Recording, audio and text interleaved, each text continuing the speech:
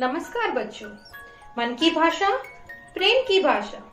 हिंदी है, भारत जन की भाषा। हम सबका अभिमान है हिंदी। भारत की शान है हिंदी। और हिंदी से हिंदुस्तान है।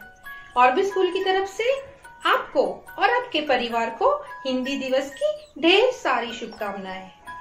आज़ादी मिलने के दो साल बाद 14 सितंबर को संविधान सभा में एक मत से हिंदी को राजभाषा घोषित किया गया था।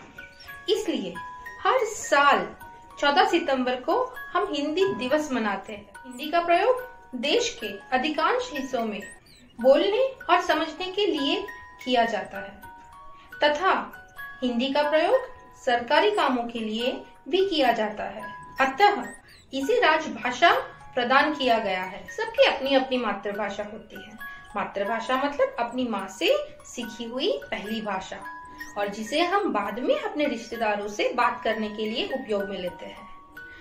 जैसे सबकी अपनी अपनी एक ही मातृभाषा होती है, वैसे ही हम हिंदुस्तानियों की एक ही राजभाषा है, और वो है हिंदी। हिंदी हम सबको एक दूसरे से जोड़ के रखती है।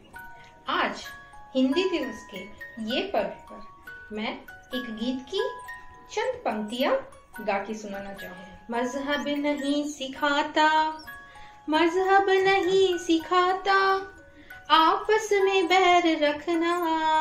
हिंदी है हम, हिंदी है हम, वतन है। हिंदुस्ता हमारा हमारा, सारे जहाँ से अच्छा।